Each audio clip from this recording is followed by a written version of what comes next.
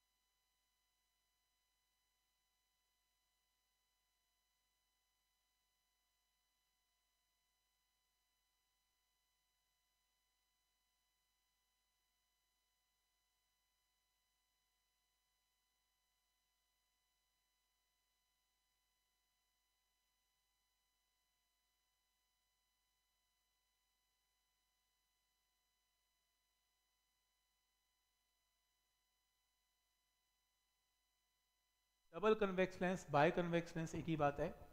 Radii 20 है तो एक आर पॉजिटिव एक आर नेगेटिव क्या गिवन है? ग्लास का रिफ्रैक्टिव इंडेक्स 1.5 है। ग्लास का refractive index respect to air 1.5 है।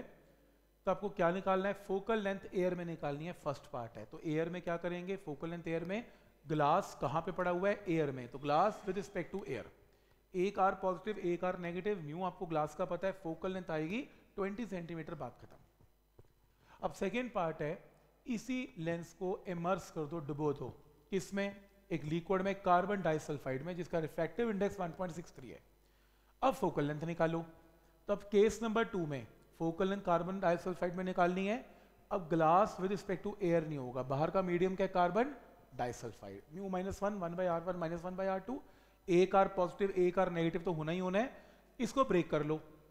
ग्लास ऊपर आ जाएगा कार्बन नीचे आ जाएगा। दोनों के रिफ्रैक्टिव इंडेक्स गिवन है सॉल्व कर लो फोकल लेंथ क्या आ गई? माइनस वन अब अजीब बात है लेंस कौन सा था? कन्वेक्स फोकल लेंथ क्या आ रही है? नेगेटिव ऐसा तो होता नहीं है कभी भी। अब एक रूल समझो।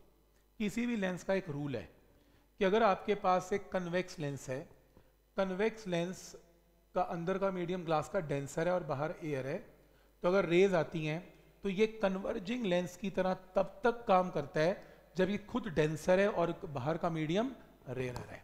वो इसलिए रेज ऑफ़ लाइट जब बाहर निकलती है it will bend towards normal लेकिन अगर आप इसी कन्वेक्स लेंस को क्या करो, एक डेंसर मीडियम में डाल दो कि अंदर का मीडियम रेयर हो जाए और बाहर डेंसर जैसे कार्बन डाइसल्फाइड जैसे कोई वाटर कुछ भी तो अगर रेज ऑफ़ लाइट आती हैं तो अब ये रेयर से डेंसर जा रही है it will bend away from normal तो इसकी नेचर क्या हो जाएगी? डाइवर्जिंग हो जाएगी। कन्वेक्स लेंस अपने से ज़्यादा डेंसर मीडियम में उल्टा बिहेव करता है कनकेव कर लेता है। इसलिए फोकल लेंथ इसमें क्या आई? नेगेटिव क्योंकि कार्बन डाइसल्फाइड की फोकल जो रिफ्रैक्टिव इंडेक्स है, वो ग्लास से बड़ा है।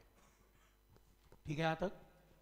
नेक्स्ट व्हाट विल हैपन अगर convex lens 1.2 is immersed in a liquid of refractive index 1.33 तो पता लग ही रहा है कन्वेक्स लेंस अपने से ज़्यादा डेंसर में जा रहा है तो it will act like concave theory में आंसर आ गया। पर अगर वो ये पूछ ले कि इस मीडियम में रिफ्रैक्टिव लिक्विड में फोकल लेंथ और एयर में फोकल लेंथ का रिलेशन क्या है, फिर दो केस करने पड़ेंगे कि आर वन आर टू तो इसमें गिवन नहीं है तो आप पहले एक काम करें केस नंबर वन एयर में फोकल लेंथ निकाल लें। तो लेंस मेकर फॉर्मूला एयर में लगाएँ तो glass with respect to air लें। आपको ये रिफ्लेक्टिव इंडेक्स पता है। तो ना ये पता है, ना ये पता है। यहाँ से one by R one minus one by R two की ये वैल्यू आ गई। इक्वेशन नंबर वन फिर आप इसे लिक्विड में डालें। लिक्विड में फोकल लेंथ क्या होगी? Glass with respect to liquid हो जाएगी। इसे ब्रेक कर लें। ग्लास ऊपर लिक्विड नीचे। इस पूरे की पूरी वैल्यू को, ये पूरी वैल्यू को रिप्लेस करते हैं। और अब इसे सॉल्व करें तो लिक्विड की और एयर की फोकल लेंथ का रिलेशन भी आ जाएगा। तो मैथमेटिकल समझ में आ रहा है कैसे आंसर देना है? अगर वो ऑब्जेक्टिव पूछ ले मैथमेटिकल तो ये आंसर होगा।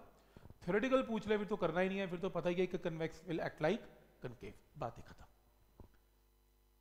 Next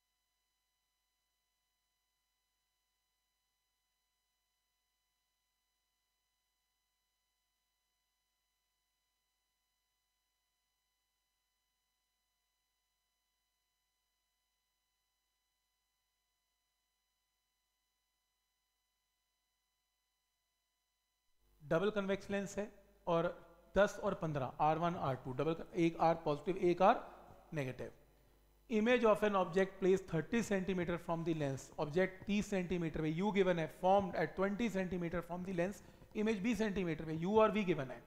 on the other side तो यू नेगेटिव है वी पॉजिटिव है.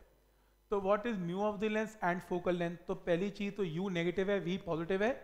तो यू नेगेटिव है वी पॉजिटिव है. तो इसमें लेंस फॉर्मूला लगा लेना टेंथ वाला one by F one by v minus one by u से फोकल लेंथ आ जाएगी।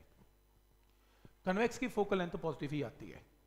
अब फोकल लेंथ एयर में निकालनी है तो one by air focal length in air glass with respect to air तो ये वैल्यू एक पॉजिटिव एक नेगेटिव आपको फोकल लेंथ निकाल लिया आपने, यहाँ से म्यू की वैल्यू कैन बी कैलकुलेटेड एक आंसर फिर सेकेंड पार्ट में वो ये कह रहा है कि फिर से फोकल लेंथ निकालो, अगर इस लेंस को किसमें डुबो दिया हमने? वाटर में। तो ठीक है केस नंबर टू बना लेना। वाटर में फोकल लेंथ निकालने के लिए glass with respect to air की जगह glass with respect to water तो इसे ब्रेक कर लेंगे। ब्रेक करके म्यू की वैल्यू आएगी आर वन आर टू की वैल्यू आएगी फोकल लेंथ की वैल्यू आएगी। मेथड क्लियर है कि कैसे करना है इसे। इसके बेस पे subjective sheet number 76 subjective sheet number 76 ये रही लेंस मेकर फॉर्मूला। तो आपने इस शीट के सारे क्वेश्चंस को ट्राई करना है। ये ट्राई करनी है सारी। तो दो होमवर्क हो गए।